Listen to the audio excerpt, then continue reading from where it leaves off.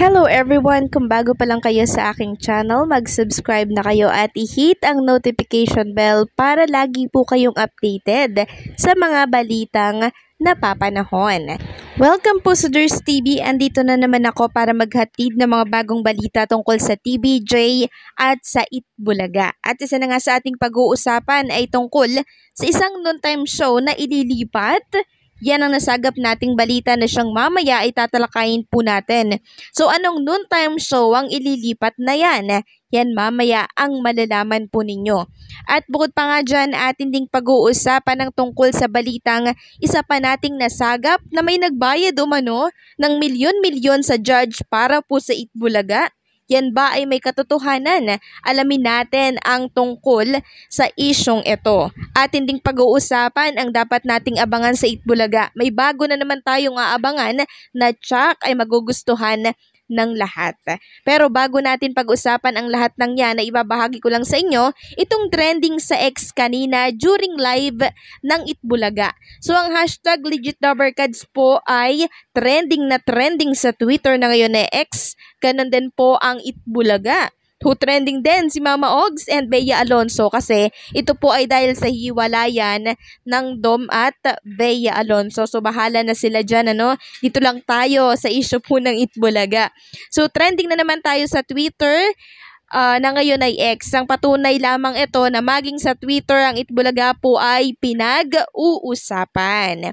Samantalang narito naman po ang online viewers ng Itbulaga kanina sa kanilang live na kung saan ay hakot na naman sila ng online viewers. Sa Itbulaga TBJ po na YouTube channel ay naka 60k online viewers po sila. And then sa TV5 Philippines naman na YouTube channel ay 44k ang nanonood kanina. So total of uh, 104k po ang online viewers ng Itbulaga sa dalawang YouTube channel na pinaglalivan po ng Itbulaga. Samantalang narito naman po ang online viewers ng tahanang pinakamasaya kanina. So sa GMA Network, meron pong dalawang libong nanonood. Samantalang sa YouTube channel po ng tahanang pinakamasaya ay merong 393 lang po na nanonood. Total of 2,393 online viewers sa kanilang dalawang YouTube channel na pinaglalaivan. So, struggle is real talaga, no? Gapang pa din po ang tahanang pinakamasaya sa kanilang live online viewers. So, araw-araw, uh, araw-araw na gumagapang yung online viewers nila, no? And ganun din po sa ratings. Talagang uh, lagpak na po yung ratings po nila. Anyway, ganun talaga, no? Kasi taong bayan na po ang umaayaw sa kanila dahil sa naging madilim at masalimuot na kahapon nila sa trademark na Itbulaga. At yaman lang din naman po na napag-usapan na natin itong tungkol sa tahanang pinakamasaya, may naulinigan tayong mga usap-usapan na ililipat na umano ang tahanang pinakamasaya sa GTV once na natapos po ang kontrata nitong It's Showtime. Kapalit po ng It's Showtime, ano? Kasi once nga naman po na ilipat ang It's Showtime dyan sa GMA, ay mababakanti po ang time slot nito dyan sa GTV. Kaya kailangan maipalit din, ano? So, parang pagpapalitin lang sila ng channel. Kasi ang showtime, until 2025 lang po ang kontrata sa GTV. No, yan po yung uh, sinasabi po nila.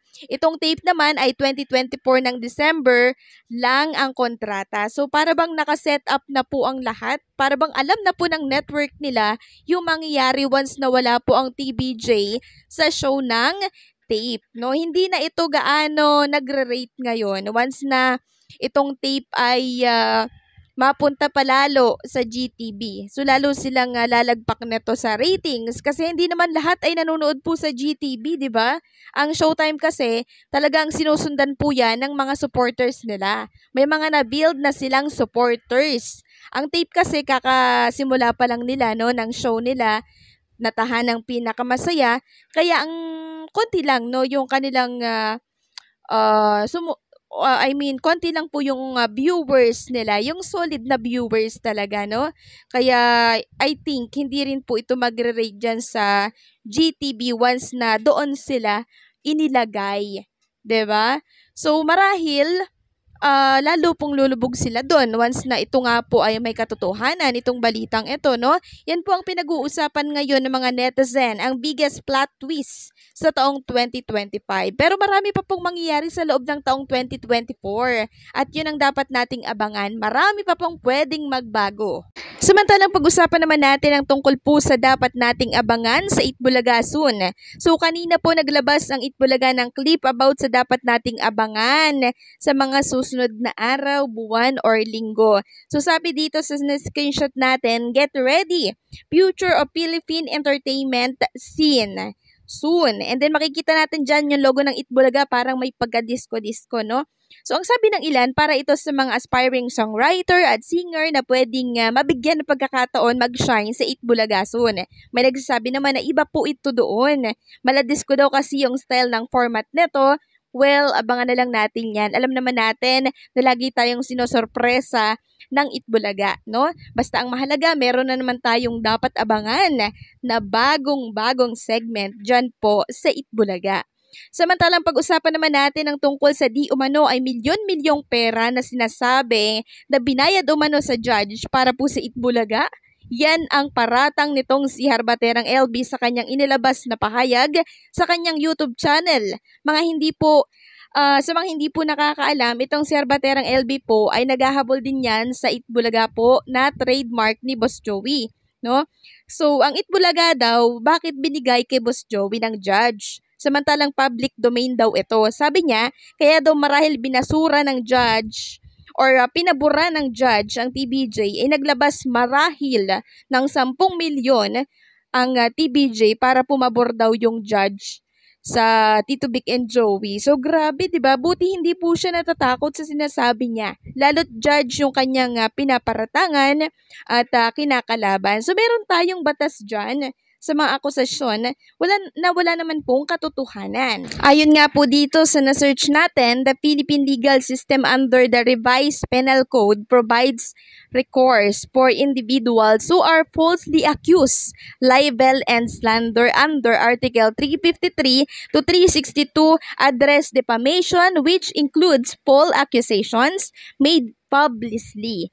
Additionally, filing false charge is finalized under Article 363, incriminating innocent person, and Article 204, knowingly rendering unjust judgment, specific Republic Act like the Cybercrime Prevention Act. Republic Act number 10175 may also apply in cases of false accusation made online. So yan po ang sagot ng batas ano. Hindi po ba napapansin ng hukuman ang ganitong uh, pag-aakusa po sa kanila?